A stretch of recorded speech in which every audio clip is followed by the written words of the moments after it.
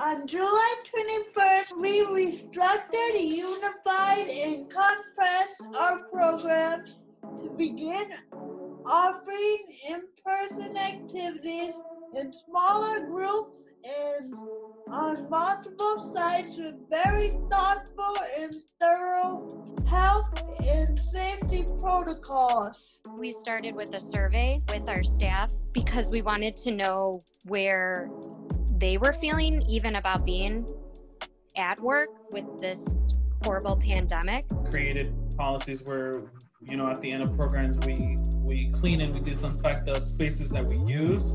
Surveyed the parents. We laid out all of our policies. Um, we moved we moved the rooms around. We got rid of furniture. We opened up our space. We did trainings with the staff to talk about the ppe and then it took a lot of time forming the cohort you know no mixing of people. So we started having conversations with the warriors about you know social distancing uh, covid uh, um, wearing masks to prepare them for when we're actually on site. Like be safe not get hurt. Do not spread germs on people. A mask it's very safe and sound. It's hard wearing this it's hard. It's hard it's my nose. Keep safe from covid-19 do an overwhelm with them not high five. You can't high five people at all. The rock on, dude. Your heart. Namaste.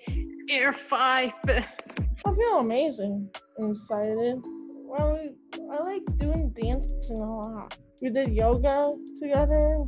I like it. Friends. Working. Garden. I feel very, very happy telling some jokes. I feel so brave, civilized, calm. Huh? The favorite program is the arts and crafts, the a library practice. Alphabetized by the book. I don't go to Trinity Knox. I didn't feel happy and safe. Opportunity knock means someplace so you can be comfortable and safe. I feel cool. Opportunity Knocks is the family. They make you feel part of the family, make you feel welcome. It's like my family. They're like my big crew. They help each other out with anything. I feel closer to the parents in a different way. People have shown up regardless of what has been put in front of them in whatever way that they can. This whole process has been a learning experience and it still is a learning experience. If we didn't have an opportunity knock, it would be a disaster. What would I?